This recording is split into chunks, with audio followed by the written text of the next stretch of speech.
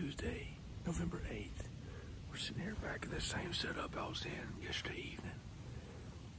I've been in this stand for about 40 minutes now. I say just a little bit after 7. I just had one doe. A coming bow range of me, so starting off the morning pretty strong.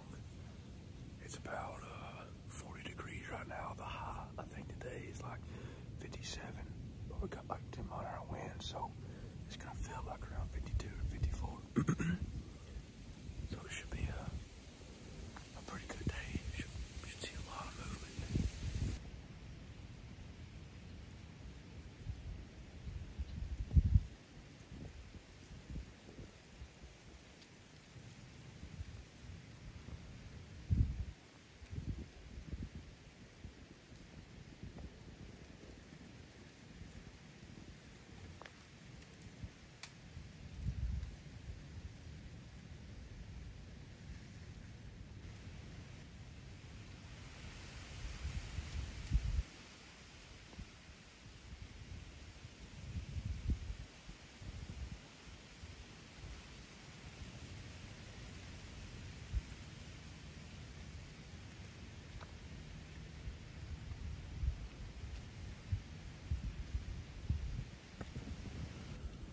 Well, we just had about a 110 inch eight.